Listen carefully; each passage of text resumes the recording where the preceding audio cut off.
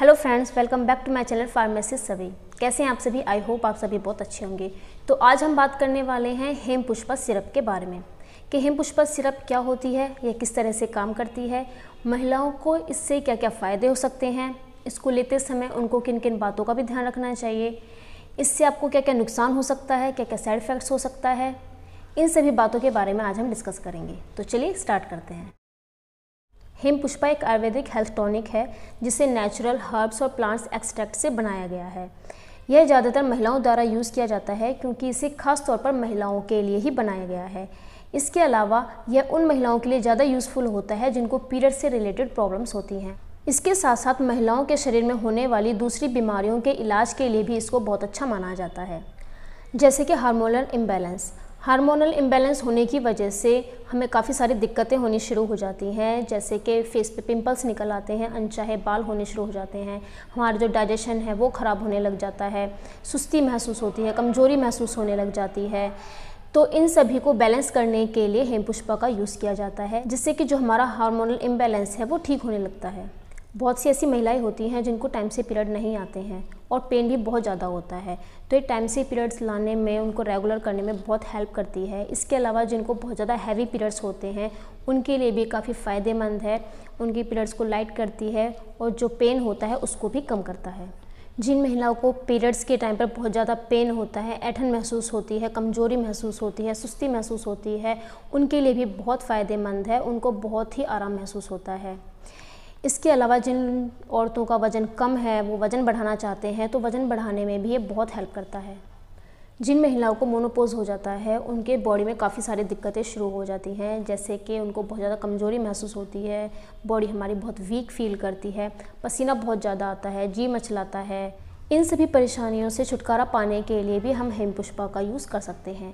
इसके अलावा जिन लोगों को पेट से रिलेटेड कोई भी प्रॉब्लम होती है, जैसे कि पेट में बहुत ज़्यादा दर्द रहता है, ऐठन महसूस होती है, जी मचलाता है, ज़्यादातर उल्टी आने का मन होता है, उस केस में भी इन सभी समस्याओं से छुटकारा पाने के लिए हम हेम पुष्पा का यूज़ कर सकते हैं। जिन लोगों के अंदर खून की कमी हो गई है या जिनके अंदर बहुत ज़्यादा वीकनेस फील होती है, कमज़ोरी महसूस होती है, वो महिलाएँ इसको ले सकती हैं। ये हमारे खून को साफ़ करने का काम करती है और हमारे बॉडी में खून को भी बढ़ाती है।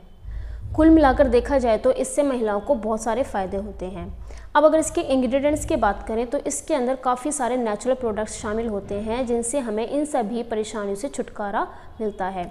जैसे कि धात के पुष्प, मुसली, शतावर बाख शंख पुष्पी, काफ़ी सारे ऐसे नेचुरल प्रोडक्ट्स इसके अंदर यूज़ किए गए हैं जिनसे हमें राहत मिलती है।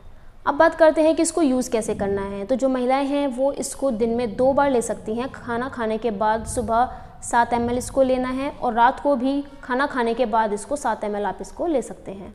अब अगर साइड इफ़ेक्ट्स की बात करें तो इसके कुछ साइड इफ़ेक्ट्स देखने को नहीं मिलते हैं, क्योंकि एक आयुर्वेदिक टॉनिक है तो इसके कुछ साइड इफ़ेक्ट्स नहीं होते हैं। लेकिन अगर फिर भी आपको इसको लेने के बाद कुछ एलर्जी महसूस होती है तो आपको इसको तुरंत लेना बंद कर देना है और अपने डॉक्टर से संपर्क करना है। अब बात आती है कि इसको कब तक यूज़ करना है। तो आप इसको मैक्सिमम टू मंथ तक यूज़ करके देख सकते हैं। अगर टू मंथ के बाद आपको इसके जो बेनिफिट्स हैं वो देखने को मिलते हैं तो आप इसको कंटिन्यू एक मंथ और ले सकते हैं, यानी कि टोटल आप इसको थ्री मंथ यूज़ कर सकते हैं। लेकिन अगर टू मंथ यूज़ करने के बाद आपको इसका कोई भी बेनिफिट देखने को नहीं मिलता है तो आप इसको तभी के तभी लेना बंद कर दें और अपने डॉक्टर की सलाह ज़रूर लें।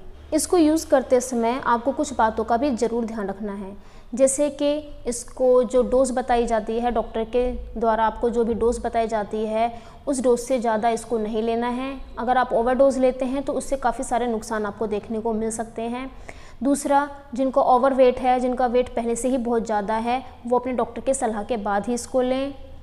इसको खाली पेट बिल्कुल नहीं लेना है, कुछ ना कुछ खाना खाने के बाद ही इसको आपको यूज़ करना है। दूसरा जो प्रेग्नेंट लेडी हैं या जो ब्रेस्ट फीडिंग कराती हैं, उनको अपने डॉक्टर से संपर्क करने के बाद ही इसको लेना है। डॉक्टर आपको जितना इसको प्रिस्क्राइब करते हैं, उतनी ही क्वांटिटी में आपको इसको लेना है। जो अल्कोहल लेती हैं, उनको भी इसको अल्कोहल के साथ बिल्कुल भी यूज़ नहीं करना है।